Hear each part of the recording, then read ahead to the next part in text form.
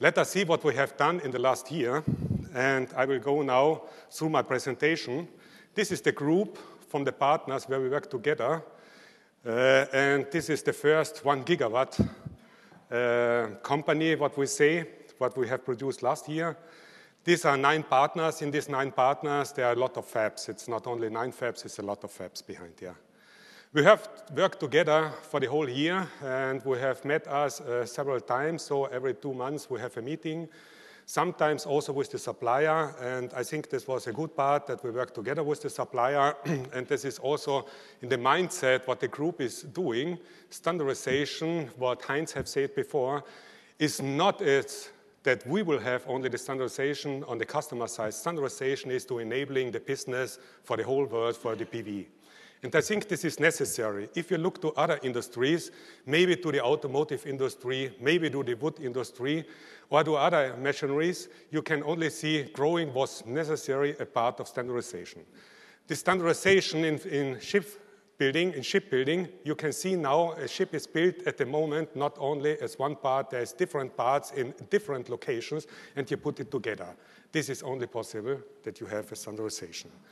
Also for the photovoltaic, I think it's very important that we are looking for that we come to the same point.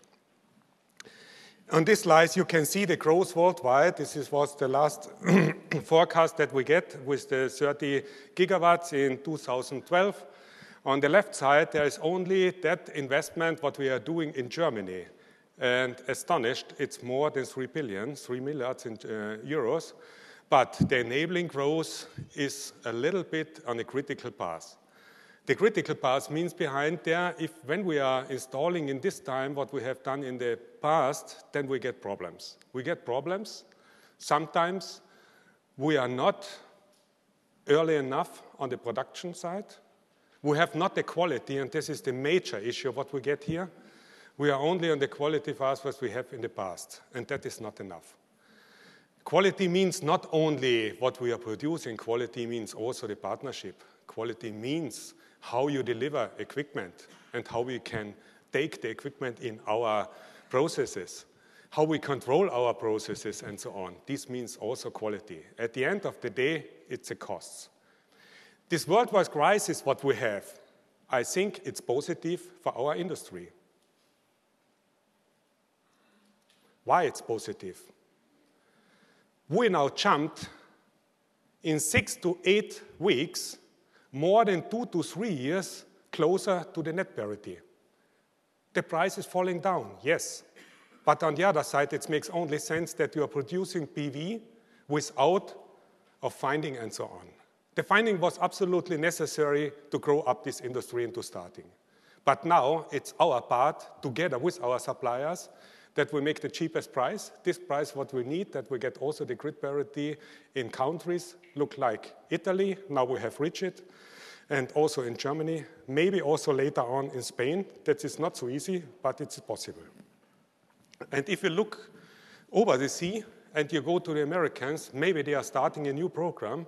And I hope that we are also in this program with the European photovoltaic industry. What we have done, we have made a benchmark. I said it before. Uh, some people are astonished. You never can do benchmarks here, so uh, everything is uh, secure. Top secret. Everybody have some secrets. So I say why. So we decided what we have done also in semiconductor, we make lists. We make these lists together also with the supplier, and we make a counting system. What we see now, it's an improving of the supplier and the performance, improving on the outgoing quality. And I'm proud here that I can say we have finished our pre-shipment test last week on Friday with a very huge company that they get a contract from us to one of our uh, major fabs. And it's the first time that we have finished everything good. Everything good, including MES system. And for one year ago, nobody since here, and they say, okay, it's possible. It is possible. And it is not the only company. That is that what is the message when you work together. The cooperation between the supplier and manufacturers comes out to a joint development. I think that is also necessary that you are going up very fast to standardization and to bring the industry in another level. push standardization, common specification, standardization, machine suppliers. It's only about that you work together. If you do it only on one side, and I have my experience 27, 28 years in semiconductor in the microcontrollers, there's one huge company and they say, okay, this is the standard. They make the norm. That makes no sense. What we have to do, that we work together and to come faster then. And we're enabling the whole business with a lot of players in there. I know that. That brings me also on the supplier side to a dual vendor strategy. A dual vendor strategy, some vendors say when they have now the contract, they say, okay, it's not necessary. But at the end of the day, the participation on the quality, on the profit, also what's coming out is for both of us. And I think this is uh, different what we have done in the past. We have also to share our knowledge, but be careful what you are doing. We have absolutely clear rules that you have no problems with them. But on the other side, if you have a dual vendor strategy, you can enable your yield that you can see what is with vendor one and vendor two. What I like is that we make a roadmap from one part, what, they, what we need from the suppliers and the suppliers need from us. So, and I think that is absolutely important for us that we are enabling this. Otherwise, you have no figures. If you only say, okay, you can sell enough, yes, while the market is huge enough, this is only the question how long. And now in this situation, I think there is a over uh, capacity also on the supplier side, also on our side, and we have no uh, real roadmap what we are doing. So we are starting now also with this roadmap on the supplier side. And what we need also for the roadmap is a roadmap in technology. we have looked to start this in the past.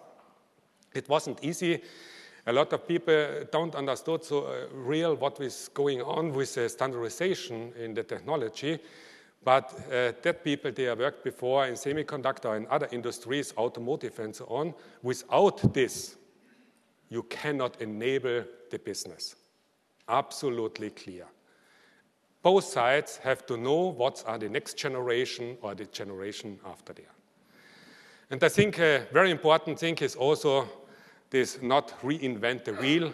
Everybody is looking, starting in the morning with a quarter, at the end of the day is a circle. So I think that we have known and go only in the best practice sharing. This brings me also that we are make a joint development, and joint development is also allowed between suppliers and suppliers, customer to customers, and all in these parts.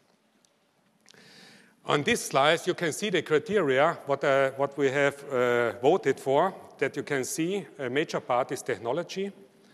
And this is a little bit different. then very important is the quality, outgoing quality, quality of service, quality of everything. IT software at the moment is voted by 8%. I think it's growing up in the future. Equipment flexibility and handling, a major point was also in the past. There we have no standardization in the high where we are working. Then the maintenance and customer service comes more and more important in the past, so they have a fully contract with maybe sometimes of the customers, sometimes it's from the suppliers. I think in the future that we have a mix, eh, or we have a third party in there, what we are doing also in other countries. Then comes the cost with 12%, delivery performance, business valuation, and trainings. Here you can see the customer satisfaction, what is going there how many companies uh, have voted. You can see six uh, companies have given feedback. Uh, the results now in process steps, you can see for the whole. For wet chemical, in the average, you can see is 73. It's a little bit under there. Different, uh, uh, or a little bit more is in, in, diffusion, coating, and thermal processing. I think it has long history also, and it works. But in the screen printing, it's not astonished for all the uh, customer have nearly about, and I remind me on one of our uh, working groups days with the suppliers in uh, Weiberbrunhöfe, there was also the screening printers was always in, under discussion. I think it's a huge point in the future also. Automation, also important. Lasers, I think it's old in this uh, industry now for what we are using, and characterization is also pretty well. But on the characterization part, I think that we need also another improvement for the future. Now we come in a higher yield. And in the times where we have only 15% or lower, there you can see a lot of points uh, that is not important for the yields. But if you go up to 16 and, and uh, uh, 17, then you, uh, it's absolutely necessary that you have a very good characterization. If you look to the different suppliers here that you can see, the, how is the voting by the different companies and what that you can see from 76 until to 61. Here you can see what we have done also with these votes that we say supplier A and supplier A was the same, and but with two customers. Here you can see the first uh, two columns that you can see, uh, three columns that you can see. There's a difference in voting. Uh, in the technology, there's maybe not the same understanding what we have there, but it's a little bit different from six points. Supplier B, that you can see, okay, the system is working. On some suppliers, we have the same votes. On some suppliers, we have the difference, but we know where the difference is coming now. So, and this is also this information what we will share later on from the working group with the suppliers only supplier to supplier. We are not mixturing. It's also this what we see here, that we have not the name behind there and so on. We will not finger pointing. This is always uh, that what the uh, people saying, okay, when you make benchmarking, you make finger pointing. It's crazy. We will learn to each other and we are growing faster. This is this what we are doing with benchmarking. The solution how we process is maybe on the other side, we have the joint PV group at the moment. We optimize our life cycle engineering, extended PV working groups, also together, joint development technology roadmap, what we need with the supplier in automation, suppliers in metrology, and suppliers in process. Suppliers in process, I think it's a little bit new here. What we are looking for is also that we uh, go to suppliers, they also offering then the process and optimize the process do in a landscape of different equipment. At the moment, you have only this uh, supplier process in the turnkey equipment, but not in the other sides. And now we are enabling uh, this business with the standardization and the MES system. There is the first time that we have the possibility that we make dual vendor strategy and we are very fast in, cha in changing equipment or we make a second parallel path also in the equipment and uh, we work with two or three vendors on the same line. So that is the first time now possible.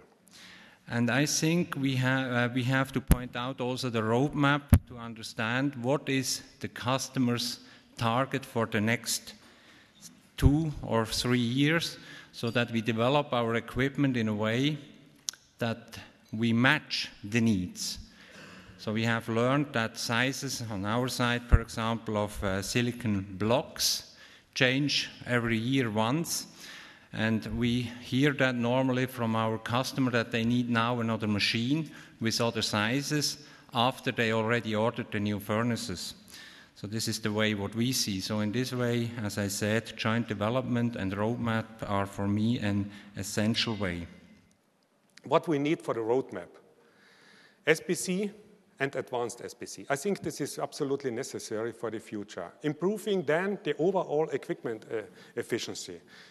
I agree completely that the growth here is the big challenge, that we are all together able to match what the market needs from us. And we all know that we have to make technology jumps. We cannot only put or push numbers of machines in a field and let them run. So, in terms of wire saw, for example, this would mean fabs with thousands of wire saw. This is not possible. So, we have to improve the technology together stand together.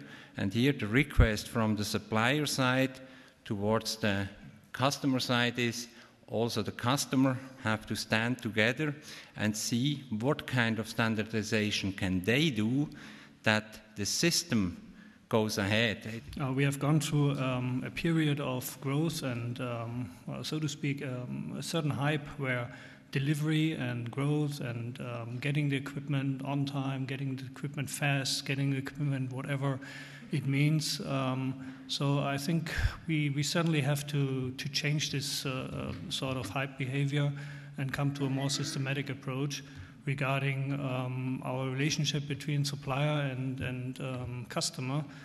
Um, Gerhard mentioned um, the benchmarking, mentioned uh, basically the supplier performance. And um, there's always this uh, magical triangle between quality, delivery, and costs, and uh, we have to balance this uh, triangle and um, have to go through uh, things like um, standardization, dual sourcing, and um, uh, cooperation, cost of ownership.